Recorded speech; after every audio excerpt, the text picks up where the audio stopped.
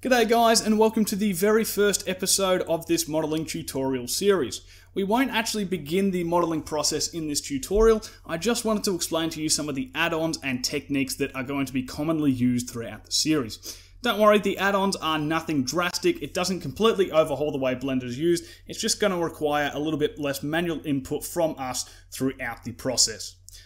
I wanted to make this tutorial series as way back in 2013 when I first started to learn how to use Blender, all I wanted to do was to be able to model the Master Chief's helmet. As you'll see on screen right now, that was my attempt at the time and it is rather abysmal. I didn't realise at the time that it actually required a fair bit of modelling skill and a general knowledge base over Blender in order to do so. Secondly, there was no tutorials at the time that could teach me how to do this.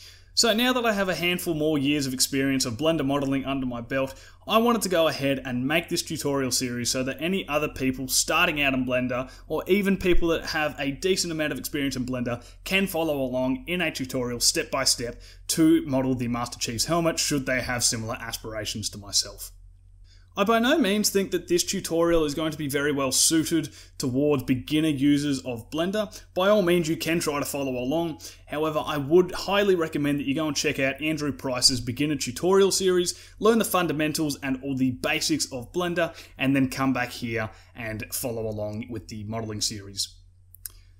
Anyway, with all that behind us, I want to just cover a few things about the add-ons we're going to be using and some of the very basic mechanics of Blender, just to make the experience throughout the series a little bit more consistent for you all at home. So, I'm just going to show off something very common that we use here, which is the space operation in the Loop Tools add-on. So you notice here we have a whole lot of vertices along this edge here, but they're all spaced out in a very strange way and we, you know, could go ahead and use edge slides to fix all these up, but that would take a fair bit of time and we probably wouldn't get it completely even. So what we can do with our Loop Tools add-on is go ahead and space these out. And if we do this for all these edges around here, I'll just worry about these ones because they're the ones in sight. But now notice we have nice even spacing between all of our edges. So that's what the space operation is going to be helpful for in keeping our topology nice and clean throughout the series. Another useful thing that we can do with this is that, say we just want to slide this down a bit, we've got a nice little curved edge here. But say if we wanted it to be rounded, we could go ahead and once again we could try and use some edge slides to try and smooth this out, you know, do some pushing and pulling of the vertices to try and make a bevel out of these. But it's not really going to look that nice in the end. And yes, we could always just grab this edge and just do a bevel on it straight away and that would achieve the same result.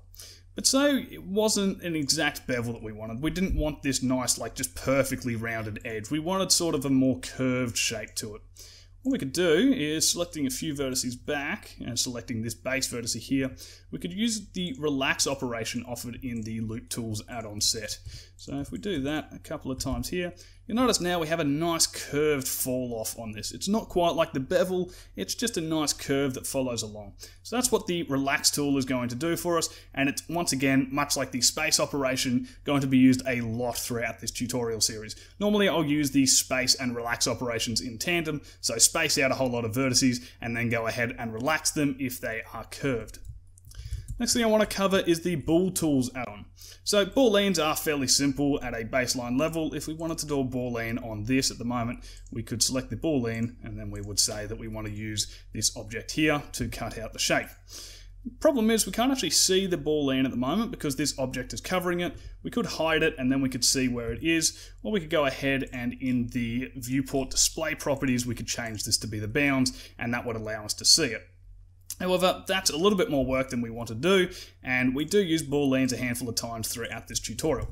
So instead what we could do is select the boolean object that we want to cut out, select the object we want the cutout to occur, Control Shift and B to bring up our Bool Tools menu, and then do the difference between these two objects. Great thing about this is that it does all the setup that we just did a second ago, and since we're using the difference brush operation, it doesn't actually apply the boolean straight away. So now we can go ahead and move this extra object to wherever we want on the mesh, and just do the booleans as we see fit. So it gives us a little bit more creativity while we're modeling, and it's a nice non-destructive way of doing booleans. Next thing we want to do is not an add-on, but it's actually inbuilt to Blender. So if we just tab into edit mode here, we have this snapping set of tools at the bottom here. So if we wanted to correct this edge, this was a cube, but I dragged out this edge and now, you know, I could try to eyeball it and, you know, top down orthographic view or something like that and get something pretty close. But, you know, we're probably not going to get it right because we're just eyeballing the details. What we could do instead is with our snapping tools, we could ch change this to vertex. Then what we'll do, if we select these two vertices at the top here, we can do G, X, hold down Control, and then you'll notice we get like a little snapping icon around the vertex we want to snap to. So we can snap it to that one there, hit enter, and then we have a nice 90 degree angle again, and it's fixed it up. We could also use the edge form, so if we selected one of these vertices here, we could also go ahead, G, X, and snap to this edge. So it's going to keep that in line. Since we're moving along the x-axis, it will just follow along this edge. So that one's not too helpful. But if we just wanted to snap to this edge here, that's now done for us. Another part of the snapping that is rather useful and we will use later on in the series is snapping to faces. So if we wanted to rotate this cube to this plane, you know, we could do a 45 degree angle because that's pretty much what the curve is on at the moment. But if the, say we didn't know the exact rotation of it, we wouldn't be able to match it up exactly. Or, you know, we could get it close, but it wouldn't, it'd probably be a little bit off. What we can do here is using snap to face is, well, at the moment, it's not going to do much. It's just going to move the point of the cube along this angled surface. It's going to keep it consistent, but it's not quite doing what we want, because we want, remember, this 45 degree rotation on the cube. But in case we didn't know what the actual angle was, we just want to be able to have Blender calculate that automatically for us. So what we can do is we can do align rotation to target. If we do that now, you'll notice we get a nicer result but we sort of get inconsistencies with where it's snapping to. Sometimes it's on the inside, sometimes it's on the outside. So what we're going to do is I generally work with the snap with set to active, and then when we hold down control, it'll snap the cube to wherever we put our cursor. Another thing to note, it will snap to wherever the origin point of the object is. So if we go ahead, just tab into edit mode, select the bottom face here, put the cursor to selected, and then do the origin to our 3D cursor here, now as we snap it, it will snap from the base of the cube where we've set the origin point and we will now have that rotation nicely aligned. Next thing I wanted to cover is the knife tool and some edge slides, as these are also very common parts of the modeling process that we do in this tutorial series. So if we go into edit mode here, we can use K to cut in some detail. So at the moment, if we tried to do a straight line, you know, we could try to get something relatively close. I think that's pretty straight but you know, there's no guarantee that it's going to be perfect. What we can do is using K again, we can press C and now it will snap it to 45 degree increments for us. So we can do that. So let's make a cut across here and that's nice and straight now because we use C. However, if we wanted to use an edge slide here and adjust the positioning of this edge, you'll notice that it will sort of start to snap to whichever edge we push it towards. But say we wanted more curvature in this edge slide as we're moving it up, but you'll notice we only get more curvature as we push it right to the very edges, or it only becomes straight as we push it further down here. What we can do to rectify this is doing an edge slide with double tapping G. We can press E and this will set it to snap to one of the edges. So at the moment it's snapping to the edges up the top here, which is denoted by that little blue dot. If we press F, it will now snap to the straight face at the bottom. So press F again, it will snap to the top row of edges, F again, the bottom. So this is rather useful as we try to fix up our topology throughout the series.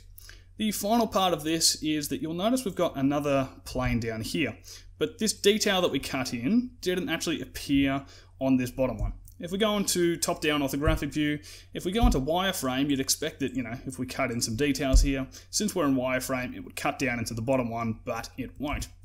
Instead, what we need to do, if we wanted to cut through the mesh with the knife tool, we'd press K to get the knife tool, and then we'd press Z, and that will allow us to cut through the mesh. So now you'll notice we do this, and we have the cut going through this mesh into the other mesh. So one of the final things I wanted to discuss here while we're in Blender is our quick favorites menu. You'll probably have noticed when we were doing the space and relax operations at the start of the tutorial here, I was bringing up this little quick favorites menu. I have this bound to my Q key. If we press Q, that will bring up our quick favorites menu. So this is the way I have it set up as these are the most common operations I use. You are more than free to copy this for this tutorial series. If you have your own workflow, by all means, go ahead and use that.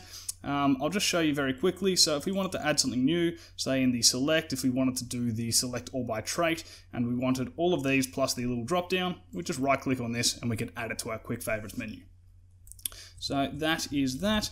And then the final thing that we are going to be using throughout this tutorial series is an external application called PureRef, which is just going to house a bunch of reference images that I've put together for you all, which is going to help with modeling the helmet as the orthographic images that we use aren't amazing as far as detail is concerned. So it helps throughout the process if we can look at some more detailed images, uh, some different angles of the helmet, uh, which will help us influence our modeling process. So with that all said and done, I will leave you guys to get into the first episode and we can start modeling the visor for the helmet.